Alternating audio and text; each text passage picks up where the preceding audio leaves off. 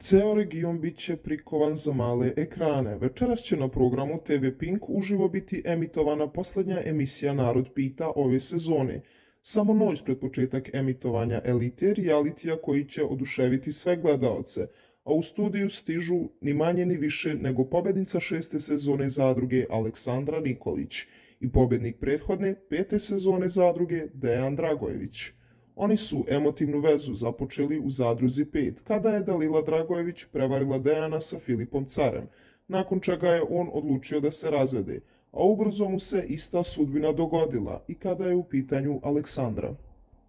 Više puta pale su teške reči, optužbe i uvrede putem medija, a večeras će se prvi put posle raskida sresti i sve stvari isterati na čistac pred kamerama Pinka u emisiji Narod pita, gde će im pitanja postavljati voditelj, ali i gledaoci.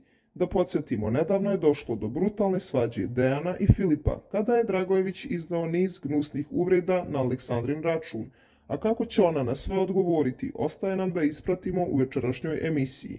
Jedno je sigurno, bit će uzbudljivo. A ako želite da budete u toku sa ovakvim sadržajem, molim vas pretplatite se na moj kanal.